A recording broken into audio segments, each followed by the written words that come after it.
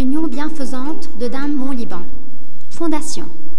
Elle a été fondée le 7 septembre 1946 par un groupe de dames d'origine libanaise qui avait comme objectif principal la réalisation des actes concrets pour aider les pauvres par des donations et accueillir les gens âgés.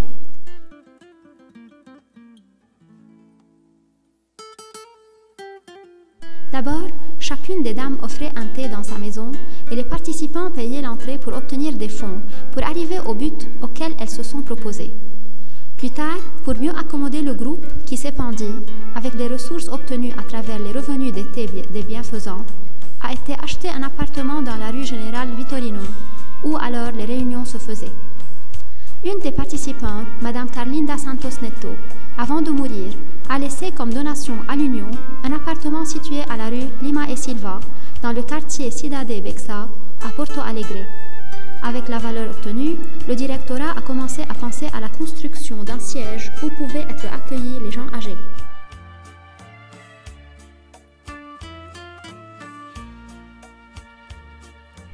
Une maison pour les personnes âgées. Le groupe donc a acheté un terrain à Villanova, zone sud de Porto Alegre. Cependant, pour présenter une déclivité très accentuée, ce qui ne serait pas adéquat à la construction à laquelle elles avaient pensé, les dames de l'Union ont décidé de le vendre. Par la suite, elles ont acheté un terrain sur lequel il y avait une résidence très ancienne, située dans la rue Madre Ana 304, dans le quartier d'Agloria. Dans ce lieu, l'Union a reçu les premières personnes âgées. Mais la maison était trop petite et pour ce motif, l'idée de construire un résidentiel apte à un nombre majeur de hôtes a commencé à être envisagée. Les dîners et les fêtes bienfaisantes se sont intensifiés, avec l'objectif de réunir les ressources pour commencer la construction du bâtiment destiné à accueillir des gens âgés.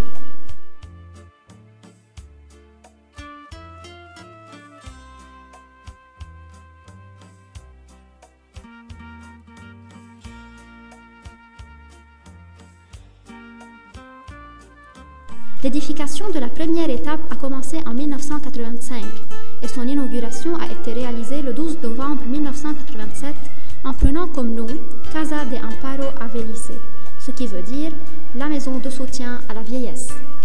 En décembre 1983, l'Union a acheté le terrain à côté, ça veut dire la maison de numéro 374, laquelle, en 1984, a été démolie pour ériger la deuxième étape du projet qui commence en 1989 dont une entreprise de, construction locale est responsable.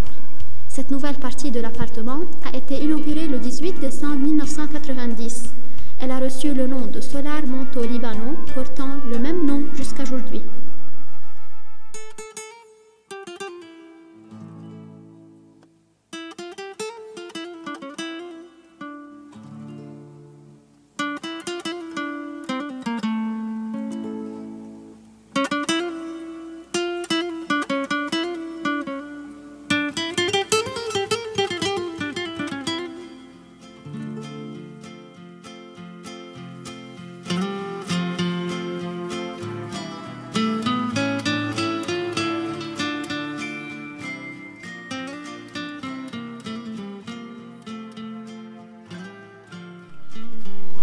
Situation juridique.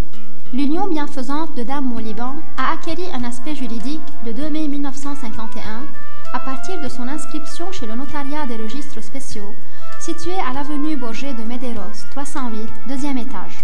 Cet acte a officialisé le caractère bienfaisant de l'association comme entité des fins non lucratifs.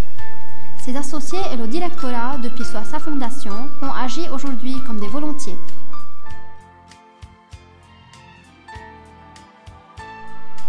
Le bâtiment, structure et composition. Le Solar Monte Libano est édifié en trois étapes, souterrain, le rez-de-chaussée et premier étage.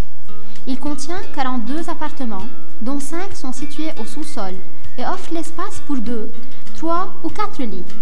Ils sont pourtant collectifs. Les 37 appartements restants, tous avec toilettes privées, sont destinés au logement individuel. Sous-sol. Au-delà des appartements collectifs se trouve aussi la lingerie, la chambre pour repasser le linge, l'espace pour la physiothérapie et exercice physique, une officine, un grenier avec quatre frigos pour conserver les aliments. Le rez-de-chaussée. Appartement individuel, hall d'entrée avec une variété de canapés et télévisions, réfectoire, la cuisine, la chapelle, le bureau du directorat, une toilette d'utilisation commune, infirmerie avec toilette, salle d'archives et ordinateur. Premier étage. Appartement d'utilisation individuelle, espace avec des canapés et télévision, un balcon dans la partie frontale. Ascenseur. Il sert les trois étages. Cour. La cour est entourée par des murs dans les latéraux et fond du terrain. L'espace frontal est délimité par une grille avec trois portails automatiques. Le portail au centre est pour l'entrée des personnes, alors que ceux des latéraux servent à l'entrée des véhicules. Un jardin avec des arbres et de fleurs décore l'entrée. Les côtés et le fond du terrain sont couverts de basalte.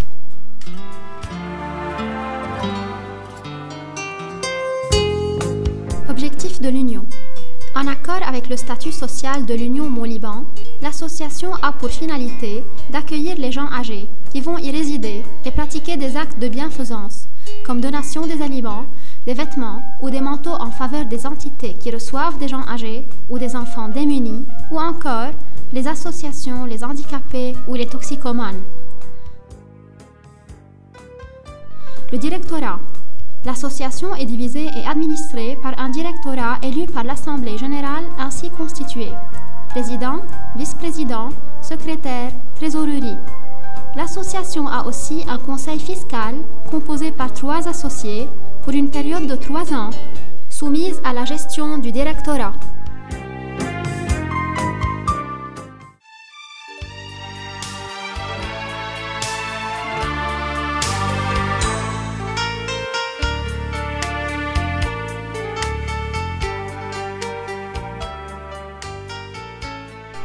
Le discours prononcé par la mère supérieure pour le lancement de la mission à Sao Paulo, au Brésil, à l'église maronite de Notre-Dame du Liban et il m'envoya pour annoncer la bonne nouvelle aux pauvres. En s'inspirant de la lettre du pape Benoît XVI, dont le titre est Ouvrez vos portes, et des paroles du patriarche maronite Rai, et surtout à travers sa visite du Brésil durant le mois de mai 2013, et partant de son amour apostolique pour les esprits et pour ses fils croyants, le patriarche a interpellé tout le monde, et notamment les clercs, pour propager la parole de Dieu au Liban et dans le monde à travers les missions comme il nous a suscité à ouvrir nos cœurs aux inspirations du Saint-Esprit. De même, il a évoqué le besoin des pays étrangers, surtout au Brésil, où le nombre des Libanais s'élève à 9000 à peu près. Cet appel a créé, au fond du Monseigneur Edgar Mandi, un enthousiasme qui le pousse à réaliser les intentions de notre patriarche. Ainsi, il convoqua des prêtres, des moines et des sœurs religieuses, dont nous faisons partie, pour nous faire participer à une nouvelle mission, pour la première fois dans l'histoire de l'Église maronite. La première congrégation maronite pour les femmes visite ce pays bien-aimé où se trouvent ses parents. En effet, la mission ne se limite pas à un temps précis, ni à un lieu précis. Si nous sommes des missionnaires libanais, qu'est-ce qui nous prive de servir au Brésil aussi? Jésus n'a jamais restreint sa mission apostolique à un pays ou un peuple précis, à un temps précis. Par contre, il dit dans son évangile Allez dans le monde entier et annoncez la parole de Dieu. Notre congrégation des sœurs missionnaires du Très Saint Sacrement que Monseigneur Émile Jara a fondée au Liban le 14 septembre de l'an 1966 est une congrégation missionnaire qui a le souci de prendre soin de tout être, qu'il soit au Liban ou à l'étranger. Nous demandons au Seigneur de bénir toutes les missions dans le monde entier, et surtout ceux qui ont inauguré la mission au Brésil, tels que les prêtres, l'ordre libanais maronite, et la congrégation des missionnaires libanais et de bénir Monseigneur Edgar Mahdi pour son dévouement apostolique.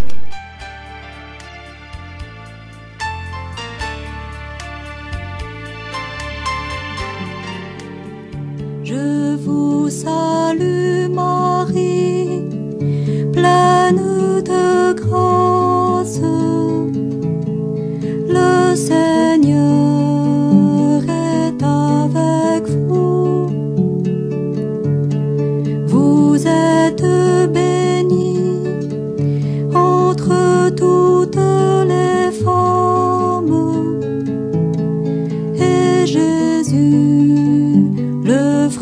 devant